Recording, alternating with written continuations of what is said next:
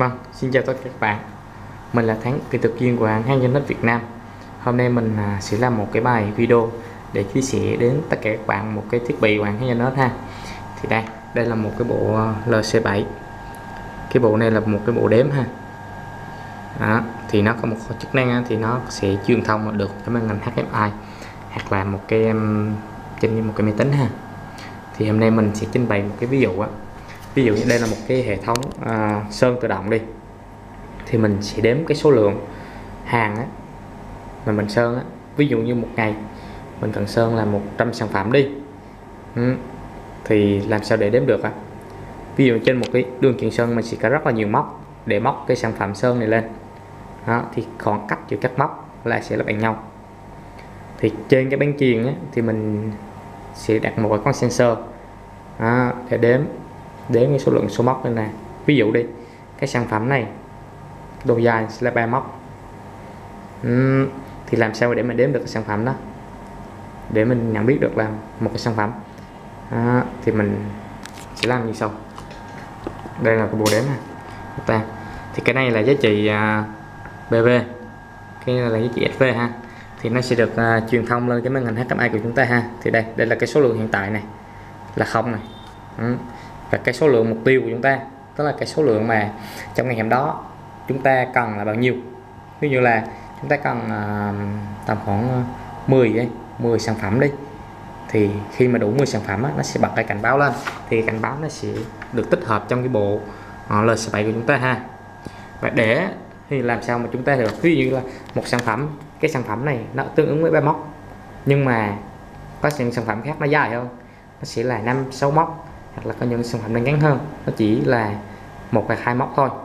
Đó, thì chúng ta phải cần đến cái tỷ lệ này. À, hiện tại là mình đang cài cho được mặc định hơn tỷ lệ là một ha. Đó, thì trở lại cái ví dụ này nè. À, cái tỷ lệ của chúng ta là bao nhiêu à? Đó, thì chúng ta có thể là 4 1 2 3 4 mình tính luôn cái móc này luôn nha. Sẽ là 4 nếu mà khi mà cảm biến này nó đọc được 4 tín hiệu thì suy ra nó sẽ là một sản phẩm. Ừ khi mà các bạn muốn thay đổi một cái sản phẩm khác lên cái đề sơn lên cái dây chuyền này á thì chúng ta cứ căn cứ số lượng móc này cộng với một cái móc dư ha thì sẽ được thôi. Đó, thì ở đây mình sẽ cài đặt cái tỷ lệ là 4 cái này ha mình sẽ chọn là 4 ừ, enter.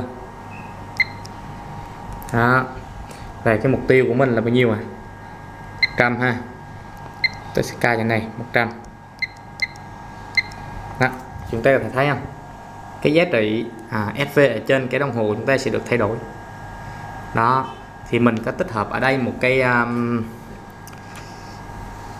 nút nhấn này à mình ví dụ đây là cái cảm biến này ha ví dụ như giờ là mình sẽ bấm là bốn lần là sẽ nhảy lên là một sản phẩm đúng không?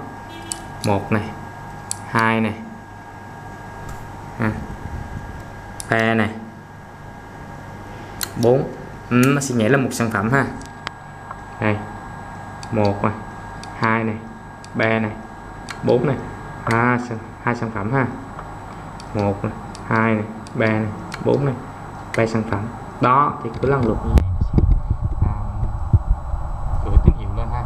Thì khi mà nó đủ 100 sản phẩm á, thì nó sẽ, sẽ báo cho chúng ta ha để chúng ta biết là đã đủ sản phẩm rồi.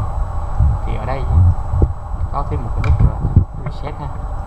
À, khi mà chúng ta hoàn thành xong 100 sản phẩm chúng ta muốn uh, reset để thêm một cái đơn hàng mới thì bấm nút đỏ. À, sẽ phải chân reset. Hoặc là chúng ta có thể reset bằng cách này. Trên cái đồng hồ này chúng ta tích hợp một cái uh, phím